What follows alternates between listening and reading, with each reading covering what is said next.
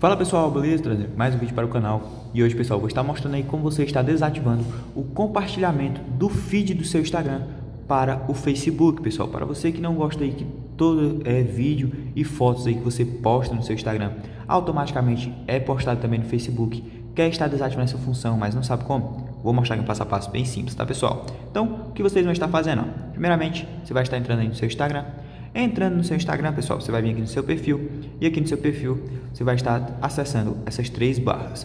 Entrando aqui nessas três barras, pessoal, você vai vir em configurações e privacidade e aqui em configurações e privacidade, pessoal, você vai estar descendo até encontrar a opção de compartilhamento e remix. Então, entra nessa opção de compartilhamento e remix e aqui, pessoal, você vai estar descendo ó, até encontrar a opção de compartilhamento e recomendação de rios do Facebook. Provavelmente, pessoal, essa opção esteja aí é, ativada, tá? Então, é só você estar desativando ela, pessoal. Desativou ela, agora todo compartilhamento aí de feed aí, toda foto ou vídeo que você postar no seu Instagram não vão ser mais postados no Facebook, tá pessoal? Então é basicamente esse o vídeo. Espero ter ajudado. Se você gostou do vídeo, deixa o like. Tamo junto e até a próxima.